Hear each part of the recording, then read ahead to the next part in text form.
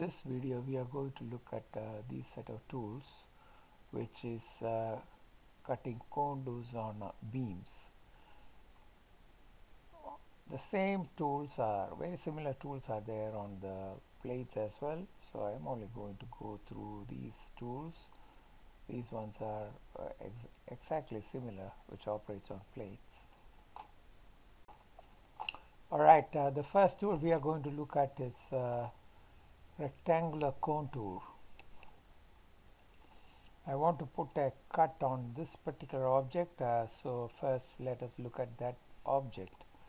To do that I'm going to click uh, this uh, particular tool quick views and then uh, quick view on object. I'm going to select that object. So just watch the arrows which are appearing. So this one is the front view this one is the back view. You can identify it with by the colors. Okay I'm going to select uh, the blue arrow. Okay I'm going to accept the default so I would accept a default. Press enter enter enter enter and uh, that member comes into view and uh, everything else is hidden. So this tool will prompt you for a center point. So what I have done here is I just drew a line. Now I'm going to put the center point to end of this line. Okay let's do that.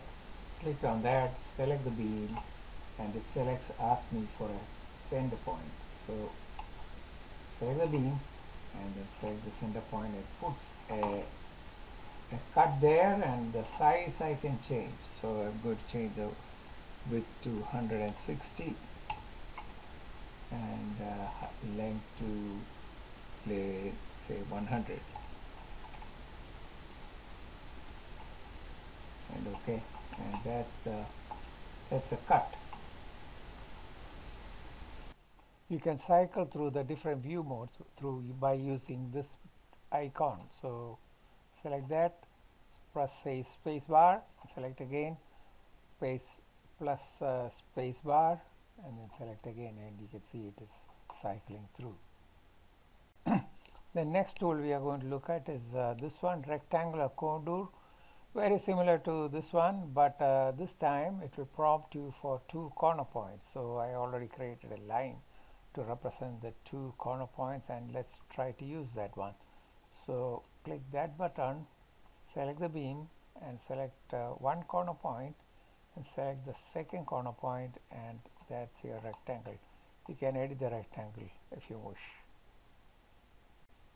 The next tool we are going to look at is cut a beam with a polyline contour so that's the button we are going to use. Uh, so let us click that one. I already drawn a polyline contour here. Select the beam.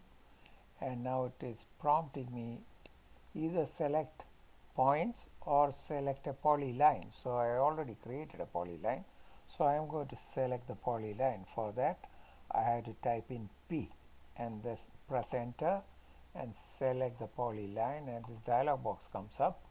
So earlier I did key in 12 let me change that to 0 now and say OK and here is the cut.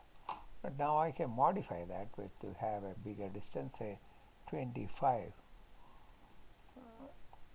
and enter and you can see the cut is 25 mm bigger than the polyline which I created.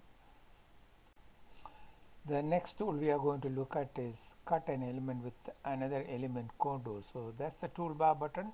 So I already drawn another member passing through this beam. You can see that and I'm going to cut this beam with this uh, smaller beam. Let's do that.